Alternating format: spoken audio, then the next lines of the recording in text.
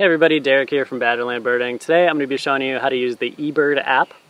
And the first thing to do is to download the app on your phone. I have it here, um, and we're going to be screen recording the whole thing so you can see what I'm doing on the app as well.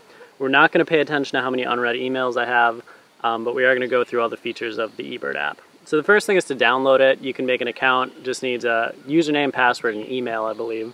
Uh, it's free, and then once you have it, we can open it up and then it'll have the date, uh, start time, a record track option. So that's if you wanted to record like where you go, it creates a little map. And you can see how many miles you walked, which is really cool. So the first thing we're gonna do is hit start checklist and it has the correct time. And then I'm gonna select the location right away. So under the hotspots, we have the Nicholls State University Farm, which is where we are today in Thibodaux, Louisiana. I'm gonna hit use this location. And what's nice about that is it normally tells you what birds are more common or uncommon in that certain area. So it kind of helps you narrow things down already. Um, I can hear an eastern towhee calling already. So we are going to type in eastern towhee and then it pops up. It says it's infrequent, but they're fairly common here at this time of year. It also shows you what birds are rare. So infrequent is gonna be the orange half circles, and then rare is the red circles, and then sometimes it also has the R next to it in the square, which indicates rare, R for rare. So Eastern Towhee, we'll put one. We hit cancel, and then we can keep going on kind of our trek. So we're gonna walk around just a little bit of land, see what we hear today. There's some chimney swifts calling. Just gonna add those real quick. Cardinals. Red-winged blackbird.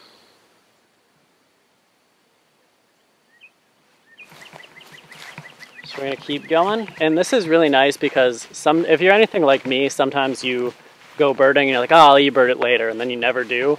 So this helps make sure you do it because you're doing it while you're birding.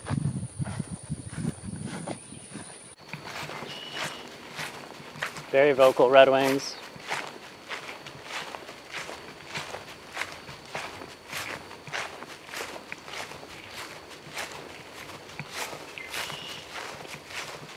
There's one sitting up. So we'll get, we'll get a shot of him or some video maybe.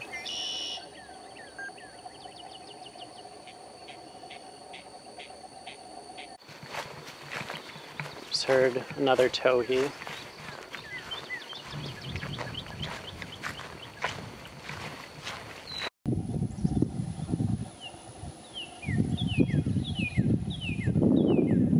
More cardinals.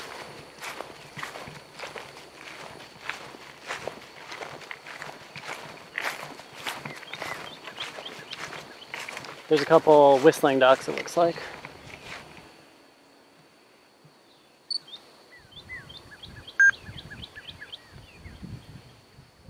Black-bellied whistling ducks. Two whistling ducks. See if maybe we can get eyes on a few more species. Carolina wren.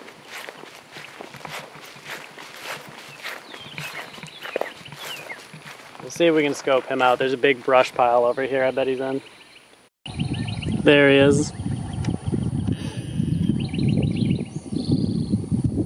Very distant Carolina wren. All right, so for our little checklist we just made, we're gonna hit stop if we were stopping the checklist here. Gonna hit stop track.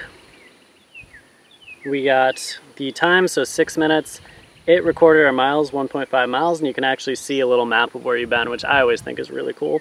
And when you publish it, it's not gonna be, the public isn't gonna be able to see your map.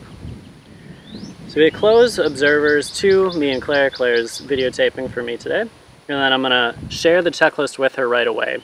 There's kind of a weird thing where if you share, if you submit the checklist from the app without sharing it, you can't do it from the app. You have to actually go to like Safari or something else and share it from there. For some reason you can't do it. So I'm gonna hit share checklist, Claire Galloway. And then, is this a complete checklist of the birds you were able to identify? Yes, it was. We can go through the species, but if we wanted to add comments, we can put eastern towhee, heard only. You can also add breeding information. And then that all looks good, so shared. Six minutes. If um, it was a stationary checklist or something like that, you can go add that in as well. And if you don't have the track on, you have to add the miles by hand and sometimes the time too. We're gonna hit submit. Checklist is gonna be shared, hit okay. And now that checklist is in eBird. So I'm also gonna go through, say I wanted to do a checklist from earlier. So we'll say if I was doing some birding at like, we'll go 3.25 p.m., you could hit start checklist and then you'd have to input the location again. So we'll say, hypothetically, it's at the Nicholls farm. And then we can add in our observations. So we'll just hypothetically put some stuff in here. Hit review, and then you have the options to do if it was traveling. If you traveled further than 30 meters, stationary, you traveled less than 30 meters. Incidental, if you just happen to run into a bird or other. And then you would hit, oh, we'll say traveling for this. And if I hit the little clock on minutes, it's gonna put it from when the checklist started to now. So you can do that, or you can add in if it was like an hour, and then we could put in how many miles we went. So if um, you didn't like specifically go out and identify everything you saw, you could hit no, or if it's like an incidental checklist, I think it makes you hit no. Um, but we're not gonna submit this because this is just hypothetical, but if it was really, you'd hit continue to submit. If it's a rare species, it's probably gonna add, ask you to add details, so you can add details about the bird, indicate if you have any photos of it. And I don't believe you can add media from the app, so you'll have to go in later and add that media. Um, there's the Merlin Bird ID app kind of attached to this too. So if you're on eBird and you want info about the species, you can hit that, which is kind of cool too.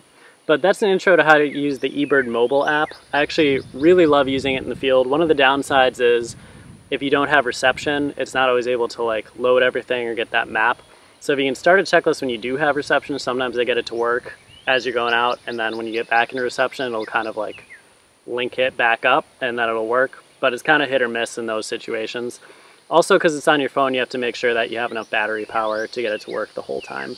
So there are pros and cons to it. I think it's really cool. I think every birder should use it.